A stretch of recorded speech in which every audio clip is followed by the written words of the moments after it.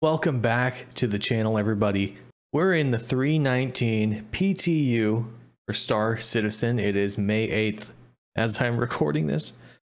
And I'm opening the PTU and uh, selecting my spawn location as usual. And what do you know? The game asked me a question. Play the tutorial? Well, yes. I will play the tutorial. Thank you. Let's see what they've got. Okay, there it is. It's really small. Welcome to Star Citizen. This tutorial will walk you through your first steps toward life among the stars in the 30th century. To exit from the bed or seating, press Y. Oh. Okay.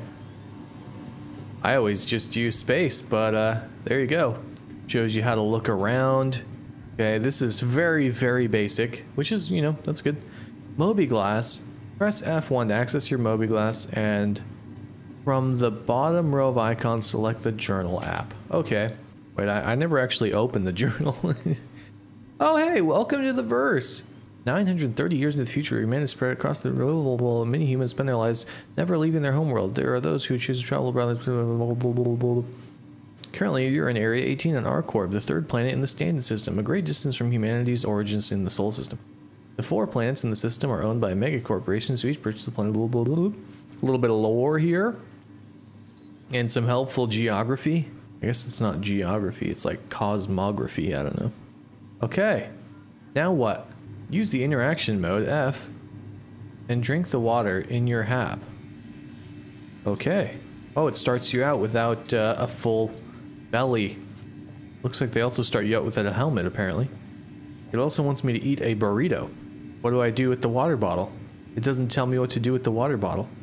Maybe it just wants me to grab the bottle. Or I mean the burrito. Whoa. Whoa. Well, the burrito is gone. and I've got a water bottle in my hand. Use interaction mode F to open the Hab's exit. Once you leave, you'll not be able to return. To quickly use an item's main interaction, while near this item, simply press F. Uh, well, I still have a water bottle here, that I cannot interact with. So I guess we just have that now. Okay. Use interaction mode F to call the elevator. I mean, this is good. This is good. Enter the elevator and use interaction mode F to select ground floor on the interior elevator controls. It won't let me drop the water bottle. Uh, and I'm just gonna do what it says for now. I mean, I don't know why they didn't include getting rid of the, the water bottle. I also, my burrito just disappeared, so I'm very hungry right now. Objective complete. All right, now what? View the area map. How do I view the area map? Oh, it's over there. Okay. Wow, look at that. Oh, there's nothing. oh, there it is. I can't go too close. Little signs tell while navigating be oh, oh it's gone. Oh now okay. Now it's telling me to sprint. You can crouch and jump by pressing spacebar. Okay. So screw the map. We'll go over here instead. Oh, nice. Going into Cubby Blast. To survive in the vacuum of space and other harsh environments, be sure to equip your undersuit and helmet. How do I do that? It's it's wanting me to shop at the at the kiosk all at all three at the same time. But it also wants me to equip my helmet. It also doesn't tell me how to close chat, but I already know how to do that, luckily for me. Use interaction mode F to browse shopping kiosks or buy... Oh, it's gone. Objective complete. Use shopping kiosks. Okay. I mean, I guess that does get the job done. I guess. Head to City Flight Transit Terminal. It's not telling me how to open my inventory. Luckily, I already know how to do it. Wow, that's actually kind of a cool set of armor that they give you for the tutorial. It doesn't look like I actually have a helmet. So they do they not they just expect you to know that you have to buy a helmet, I guess. All right, so I'm figuring out by myself how to get a helmet on, which is not good for the tutorial. But it did get us to the terminal. So now we'll follow this. Okay, I like how it's updating in rather short intervals. That's helpful for new people. I, I do wish that their little icon was a little bit more obvious. Like if I'm just looking here, where is the objective icon? It's very hard to see, especially in such a busy environment as Area 18. But it's something. you know, which is a lot more than they had before. Now look at this guy. Whoa. He's the guy, bro. Anybody who's seen Spy Kids 3 gets that. Damn, that's some gold armor. I wonder if they put those guys there as NPCs just to like excite the new players, you know? Like, oh, that guy's an alien. Oh, that guy's gold. Get in the train. Okay. Objective complete. Nice. Your exit's coming up. Get off your shuttle at the next stop to reach the spaceport. Like, if this was a professional tutorial, right? You would have to press like a, a continue button, right? When you're ready to go to the next step it's going a little fast, I think, for most new players in the game. Uh, it's not bad. Like the stuff they're having you do, I and I completely agree with with that they're taking us to uh, Baijin Point, Baijini Point or whatever, uh, to get up there and, and hopefully set our spawn up there. But like it would also be nice to have a you know, a list of things that you're gonna do. Like, first we're going to eat some food, then we're gonna buy a helmet, then we're gonna go to the spaceport, then we're gonna go to Baijin Point, then we're gonna, you know. I mean, they told us informally in the form of a, uh, that little journal letter, but it didn't tell us, us an explicit list. Okay, new objective, locate a fleet manager terminal. Boom, nice. I love the icons. Very helpful. Okay, but uh, as you can see, not exactly a straight shot, which is fine. You know, that's fine. I, I don't think that if you're going to get into Star Citizen, you can't expect to be babied. And, you know, if you're going to take a little wrong turn and go, oh, that's not the way, then that's fine, man. That's fine. Because if you don't have the patience to uh, retrace 10 steps that you made a wrong turn, you're not going to last in this game whatsoever. You know, as much as I'd love for everybody uh, always ever to be able to play this game and love it, you know, it's not everybody's cup of tea. Gotta have the patience. Okay. Welcome. I'm interacting with the terminal. Aerospace Organization Procedure A tutorial ship has been temporarily assigned to you. Complete the tutorial to access your vehicles. Okay. Oh, and we got the Anvil Pisces. Freaking love this thing, man. This was my rental ship when I joined the game back in Invictus Week a year ago. And I've never stopped loving it. It really doesn't explain much. It doesn't explain delivery time and it doesn't explain the whole process of claiming and all that stuff, which maybe you don't want it to. Maybe you don't want to overwhelm. Uh, hangar one, ship will be waiting. Okay, retrieve tutorial ship. It also doesn't tell you exactly like press these buttons, but again, take elevator, I'm walking over here automatically. I'm trying to not get ahead of the tutorial. Oh, look at these. That's cool. Observe your ship marker on your HUD to review the hangar where it's currently stored. Use the spaceport hangar elevators to reach the appropriate hangar. Okay. Okay, hangar 1. Alright. Approach the ship and use the interaction mode to lower the ramp. Don't forget to close the ramp behind you. I do kind of wonder, okay. Just spitballing here. Does the tutorial process kinda take the magic out of the discovery of the game? I'm just asking because that was a big thing for me when I first got to my hangar and saw my Avenger Titan. You know, that was a big moment for me. That was like a big dramatic start to the game. Like I finally got there and figured out how to get there and get to my ship. Maybe it doesn't. But for me, I'm kind of glad that I didn't have a tutorial when I started this game. Press R to system flight ready. Okay. Contact air traffic control, left alt in to request permission to take off and open the hangar doors. Nice. Love that there's a freaking keybind for this now. Automatically. Okay, it's telling us this pretty quick. Depending on the hangar doors can be above or ahead. Take a look around while seated. To ascend, hold spacebar. Descend, hold left control. To aim your ship, use axis, blah, blah, blah. Oh, it, it, it ignores basically all your custom settings. Move your ship. Yay, okay. Doesn't tell you fly out of the hangar. That's fine.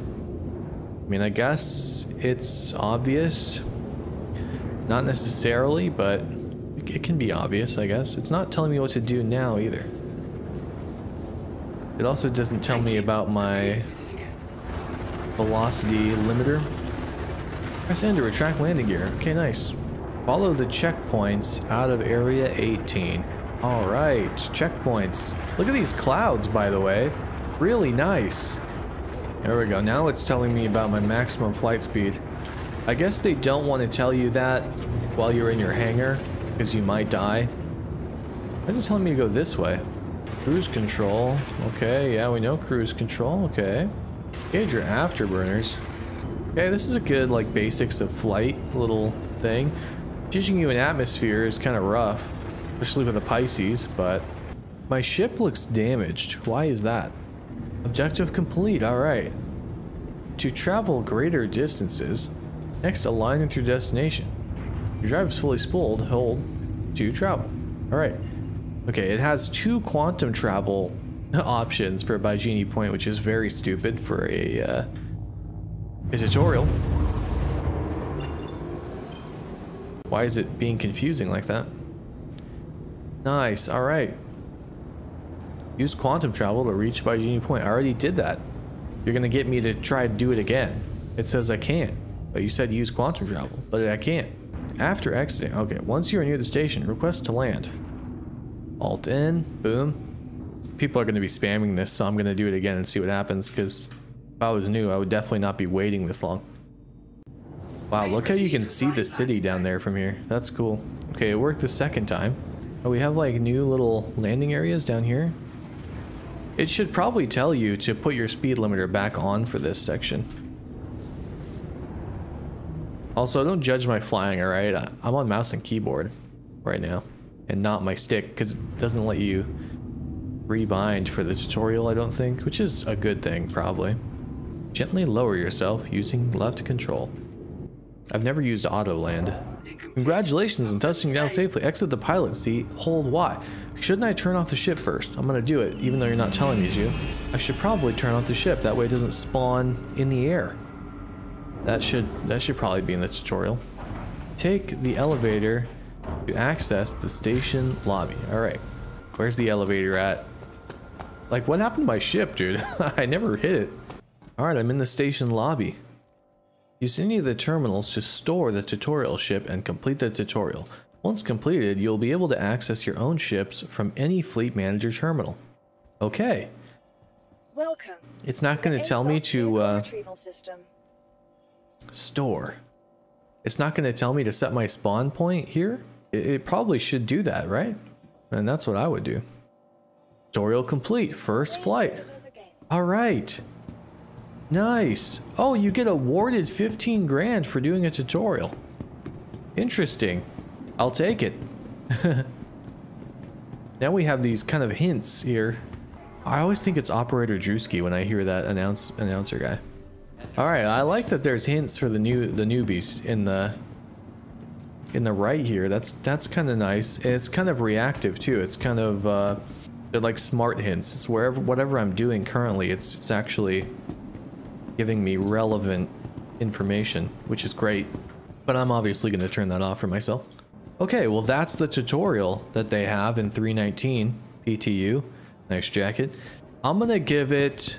Man, that's hard. I don't know. I feel like I'm going to give it a 7 out of 10.